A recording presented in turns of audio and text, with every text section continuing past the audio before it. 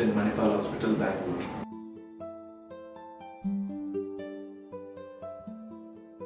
Atrial fibrillation being very common, there's lots of people who need anticoagulation or some sort of therapy to prevent the stroke formation. It is believed that more than 90% of the clot in so-called non-valvular atrial fibrillation actually occurs in one particular area which is called left atrial appendage. So if you can safely seal it off this area, then you don't need to take strong blood thinners. Here when we talk about blood thinners, we are not talking about aspirin or clopidogrel. We are talking about something which is called anticoagulants which much are much more potent or much more stronger. So we are talking about warfarin and we are talking about newer drugs. So when people take this drug, there is tendency to bleed. So in uh, as an alternative, this procedure is done. Now, who are the patients whom we do this procedure? It can be done in people with atrial fibrillation who have taken these drugs and who have already bled.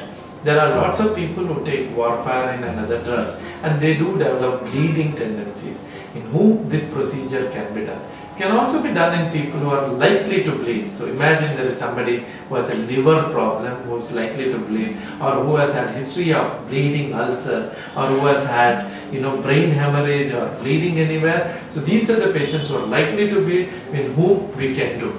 Can also be done in people who have renal failure where uh, where taking drugs like warfarin when they are on dialysis becomes very very difficult. So this is a good candidate for them.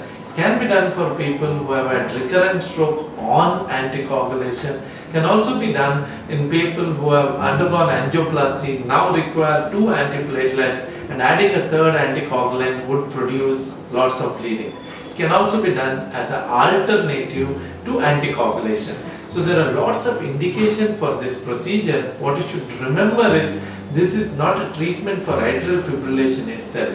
It's a treatment to prevent clot in atrial fibrillation. Hence it is alternative to anticoagulation. So that means patient with atrial fibrillation will continue to be in atrial fibrillation, but that can be their heart rate can be controlled with drugs.